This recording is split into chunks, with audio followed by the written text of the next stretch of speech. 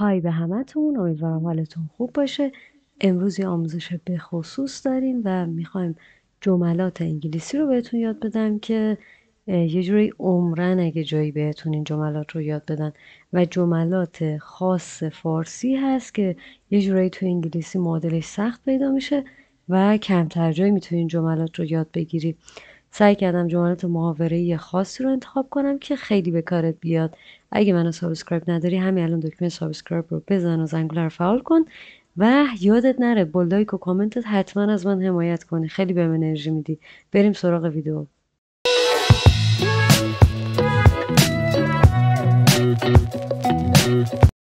خب می‌خوایم بگیم در رو نکوب. در رو نکوب توی فارسی هم زیاد میگیم یعنی در محکم نبند. ببینیم به انگلیسی چی میشه. من جمله معادلش رو بهتون میگم. میگیم don't slam the door. Don't slam the door. تلفظش که اومد شما تکرار کنید. Don't slam the door. میشه در رو محکم نکوب در رو نکوب. به همین راحتی. حالا یه مثالم براتون می‌زنم که قشن براتون جا بیفته. خب یه سارا خانمی هست که در رو محکم میکوبه. شما باید بهش بگی در رو نکوب میگی Hey سارا don't slam the door. یعنی سارا در رو نکوب. جمله کاربردی بعدی این هست که می‌خوایم بگیم هوا تو دارم. هوا تو دارم تو فارسی به معنی اینه که یعنی پشتتم هوا تو دارم مواظبتم. میگیم I've got your back. I've got your back. تلفظ که اومد شما با هم بگید. I've got your back. Back میشه پشت. همون که گفتم مثلا پشتتم یه همچین معنی میده. ولی معنی تحت و لفظش چجوری میشه؟ هوا تو دارم. حواسم بهت هست. می‌خوایم به انگلیسی بگیم خواب موندم. با کسی قرار داشتید و نرسیدید. می‌خواید بهش بگید ای بابا خواب موندم. میگیم I overslept. Sleep میشه خوابیدن. درسته؟ و I overslept یعنی بیش از حد خوابیدم. من بیش از حد خوابیدم. تلفظش رو ببینیم و با هم تکرار کنید. I overslept I overslept یعنی خواب موندم. این یکی زیاد حرف خوبی نیست و امیدوارم به کارتون نیاد. می‌خواد بگید خاک تو سرت خاک تو سرت هم توی فارسی استفاده می‌کنیم و شاید ندونید مدل انگلیسیشه. میگیم out upon you. Out upon you. تلفظ که اومد شما بگید. Out upon you. Out upon you. یعنی چی؟ یعنی خاک تو سرت. و یه جورایی حرف خوبی نیست دیگه. سعی کنید استفاده نکنید. فقط یاد بگیرید. Out upon you. خب کلمه بعدی به کسی که زیاد درس بخونه معمولا میگیم خرخون و خرخون خب توی انگلیسی با کسی که زیاد کتاب می‌خونه یکم متفاوته. یه شیوه اصطلاحی داره همچین. بوک ورم بوک ورم بوک یعنی کتاب ورم هم یعنی کرم. و میشه کرم کتاب معنی تحت لفظش ولی کرم کتاب میشه کسی که خرخونه دیگه. کتابو میجوه به قول خودمون تو فارسی میگیم کتاب قورت میده. بوک ورم میشه خرخون کسی که زیاد درس می‌خونه. می‌خوایم به انگلیسی بگیم دخالت نکن. دخالت نکن تو فارسی زمانی می که می‌خوایم کسی توی کاری فضولی نکنه. دخالت نکنه. حالا معدبانه تر میگیم stay out of this. stay out of this. با من تکرار کنید. stay out of this. معنی تحت لفظش میشه از این موضوع بیرون بمون خب؟ که همون معنی دخالت نکن رو میده. Stay out of this. می‌خوایم بگیم یکی رفیق نیمه راهه. یعنی وسط راه ول می‌کنه میره. رفیق نیمه راه. به انگلیسی باید واسه این گفتن این کلمه بگیم fair weather friend. Fair weather friend. ببینید یه بار سریعتر میگم. شما هم تلفظ اومد با من بگید. Fair friend یعنی رفیق نیمه راه. رفیقی که وسط کار ول می‌کنه میره. Fair weather friend. می‌خوام بگیم تا کی بازید. یه مغازه قصد خرید ازش داریم. می‌خوایم بدونیم تا کی بازن. که قبل اون تایم بریم برای خرید. به انگلیسی باید بگیم. How late are you open? How late are you open? خب نکن باز بودن مغازه که open. خب How late یعنی تا چه هنگام؟ تا, تا دیر تا چه وقتی بازید؟ How late are you open? تا کی بازید؟ آخرین تایمی که دیگه باز هستید کیه؟ بخوام اینجوری فارسیش کنم. How late are you open این سلام خیلی بامزه است. تو فارسی میگیم طرف از دنده چپ بیدار شده. طرف از دنده چپ بلند شده. یعنی با اخلاق بد از خواب بیدار شده معنیش اینه. بعد بگیم wake up on the wrong side of the bed. Wake up on the wrong side of the bed. شما با هم تلفظ کنید. Wake up on the wrong side of the bed. یعنی از سمت اشتباهی تخت خواب بلند شد معنی تحت لفظش میشه این. Wake up که یعنی بلند شدن. Wrong side یعنی سمت اشتباه و of the bed یعنی مال تخت. of the bed برای تخت. پس از دنده چپ بیدار شدن میشه. wake up on the wrong side of the bed. می‌خوام بگم برخلاف میلم. یعنی تمایلی به این نداشتم. این چیزی که داره اتفاق میفته برخلاف میل منه. باید براش بگیم against my will. Will اینجا معنی میل میده و against یعنی برخلاف بر علیه. پس میگیم against my will. It's against my will. یعنی اون چیز برخلاف میلمه.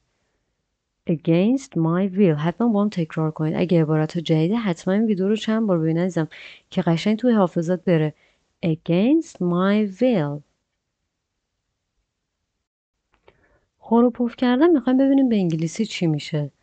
خور و پف کردن شاید به نظرتون راحت بیاد ولی خب پرکار برده به نظرم. یه روزی به دردتون می‌خوره. میشه snore. snore. پس خور و پف کردن به انگلیسی میشه snore. تلفظ که ظاهر شد شما هم حتما با هم بگید snore. snore میشه خور و پف کردن. این جمله فوق العاده کاربردیه. میگه هر وقت کافی بود بگو. داریم برای یه نفر شربت میریزیم و بهش میگیم که آقا هر وقت کافی بود بهم بگو دیگه نریزم برات. اون طرف باید بگیم say when. خب؟ یعنی say when یعنی هر وقت کافی بود به هم بگو. همه اون عبارت بزرگ تو این عبارت کوچیک هست. say when. یعنی هر وقت کافی بود بگو دیگه برات شربت نریزم مثلا. پس say when.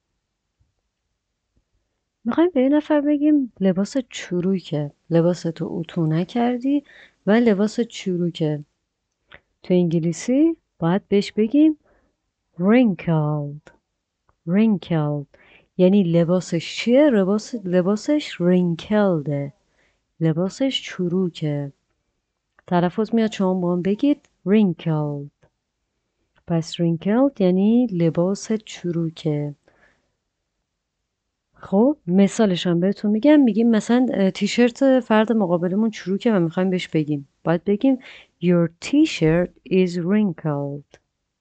یعنی تیشرت چروکه. حالا یه چیز دیگه در مورد لباس بازم بهتون یاد بدم. یه نفر لباسش رو پشت و رو پوشیده. خب یقش افتاده پشتش مثلا. و شما متوجه میشید می‌خواید بهش بگید. میگید چی؟ میگید inside out. Inside out. معنی تحت لفظش میشه اینساید میشه داخل اوت هم یعنی بیرون. داره میگه داخلش بیرونه. زیاد مرتبط نیست ولی منظور اینه که لباست پشت و روه. یه مثالم براتون بزنم. می‌خوایم به طرف بگیم آقا تیشرت تو پشت و رو پوشیدی. میگیم your t-shirt is inside out. یعنی تیشرتت پشت و روه. به کسی رفتن. توی فارسی هم از این خیلی استفاده می‌کنیم. مثلا می‌خوایم بگیم طرف به فلانی رفته. به کسی رفته. خب برای این باید تو انگلیسی بگیم take after take after. Take after یعنی به کسی رفتن. پس شما با هم تکرار کنید take after یعنی به کسی رفتن. یعنی شبیه یه نفر باشی. مثلا می‌خوام بگیم حالا اون دختری که داریم می‌بینیم به مامانش رفته. خب میگیم she takes after her mom. She takes after که یعنی رفتن به کسی رفتن her mom به مامانش رفته. می‌خوایم به این نفر بگیم به دل نگیر.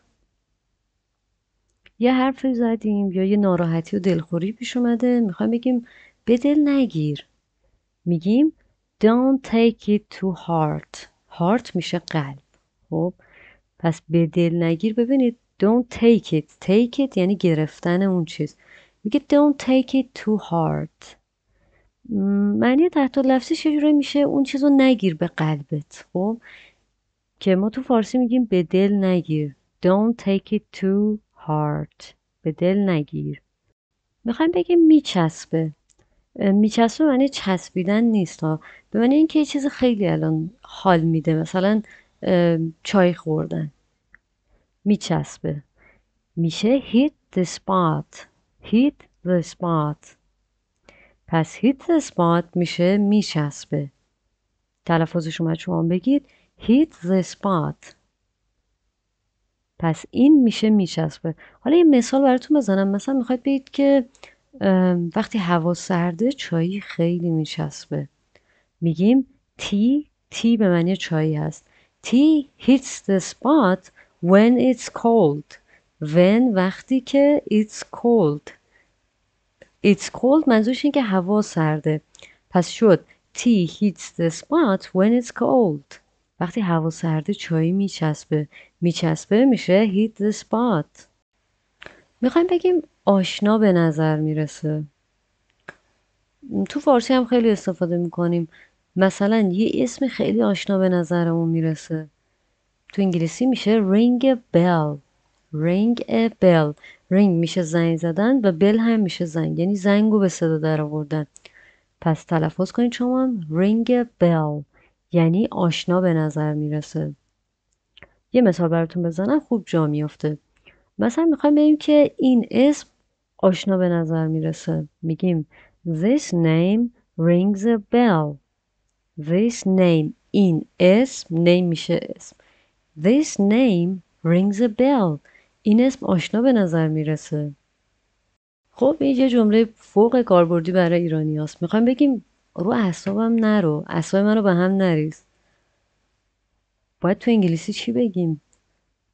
میگیم don't get on my nerves. don't get on my nerves. نرو میشه اعصاب. خب نرو میشه اعصاب. شبیه همون نورون های خودمونه. اگه بخوایم به هم دیگه ربط بدیم شبیه نورون های همون راه عصبیه. میگیم don't get on my nerves. رو اعصابم نرو اعصابم به هم نریز. Don't get on my nerves. رو اعصابم نرو حالا اگه بخوایم بگیم ما رو اعصاب کسی رفتیم یه ذره تغییر می‌کنه. میشه get on somebody's nerves. Get on somebody's nerves. یعنی رو اعصاب کسی بریم. ما رو اعصاب کسی بریم. می‌خوایم بگیم محض رضای خدا. معمولا هم تو فارسی مثلا میگیم محض رضای خدا بس کن دیگه. اینطوری میگیم محض رضای خدا. می‌خوایم ببینیم به انگلیسی چی میشه؟ میشه for God's sake. For God's sake. یعنی محض رضای خدا. بعضی برایشون این سوال پیش میاد مگه خارجی خدا دارن؟ خب بله ازان. اصلا نیاز به خدا و پرستش یه نیاز فطریه و مربوط به ذات همه انسان هست دیگه علم روانشناسی هم اینو پذیرفته و اکثر خارجی یهودی هستن. پس وقتی می‌خوایم بگیم محض رضای خدا میگیم for God's sake. For God's sake. و معادل خدا توی انگلیسی هم میشه کلمه God. God میشه خدا. می‌خوایم یه چیزی بگیم. ولی نوک زبونمونه نمی‌تونیم بگیم. این اتفاق خیلی برای ما افتاده. می‌خوایم بگیم نوک زبون همه چی بود؟ اینطوری مثلا اتفاق میفته به انگلیسی میشه it's on the tip of my tongue. تانگ میشه زبون. خب همون زبانی که داخل دهانه. Tip of my tongue میشه نوک زبون. داریم اشاره می‌کنیم به نوک زبونم. و داره میگه it's on the tip of my tongue. یعنی اون چیز روی نوک زبونمه. پس نوک زبونمه به انگلیسی چی میشه؟ میشه It's on the tip of my tongue. می‌خوایم به یه نفر یه لباس جدیدی پوشیده بگیم بهت میاد. این لباس بهت میاد. دو تا عبارت واسش می‌تونم بهتون یاد بدم. یکی اینه که می‌تونیم بگیم it suits you. It suits you. که it اشاره به اون لباس داره. لباسی که طرف پوشیده میگه. It suits you. It suits you. یعنی بهت میاد. It suits you. و اصطلاح بعدی که می‌تونم بهتون یاد بدم میشه. It looks good on you. It looks good on you. هر دوتاش یعنی بهت میاد. It suits on you. و it looks good on you. یعنی بهت میاد. یکی هم خیلی پرکار برده هم تو فیلم ها خیلی میشنید فیلم ها و سریال ها میگه بیخیال یعنی هر بحثی که پیش اومده آقا بیخیال ولش کن. میگیم never mind never mind. بیخیال never mind. پس تکرار کنید never mind یعنی بیخیال مثلا کنید یه فردیه به اسم مثلا بانی خب؟ شما کیفش رو گم کردید. میگید I'm sorry بانی I've lost your bag. ببخشید بانی متاسفم کیف تو رو گم کردم. و اون طرف میگه never mind بی خیال. بعد می‌خواد بگه من یه عالمه کیف دارم. میگه I have a lot of bags. Bags میشه کیف دیگه که جمع هست. میگه کیف ها bags. به زش دقت کنید bags میشه کیف ها بعد میگه بی خیال never mind. این عبارت هم خیلی به نظرم با مزه و کاربردیه. واقعا حیف آمد که شما ندونید. کم و بیش. توی فارسی هم میگیم. کم و بیش مثلا یه کاری کردم. کم و بیش یه کتابی رو خوندم. میشه more or less. more یعنی بیشتر و less یعنی کمتر. more or less. شما تکرار کنید. more or less. به معنی کم و بیش هست. More or less. مثلا می‌خواد بگه که یه کتابی رو کم و بیش خونده. فکر کنید باید چی بگیم برای این عبارت؟ میگیم میگیم I've more or less finished the book. I have more or less finished the book. یعنی کم و بیش کتاب رو تموم کردم. خب خیلی ممنونم که تا این time ویدیو همراه بودی. یاد نره حتما با لایک و کامنت ازم حمایت کن چون واقعا بهم انرژی میده. من برای آموزش وقت می‌ذارم و سعی کردم بهترین محتوا رو براتون آماده کنم. راستی اگه منو subscribe نداری همین الان subscribe رو بزن زنگوله رو کن تا ویدیوی بعدیمو برات بفرستم. خدافظ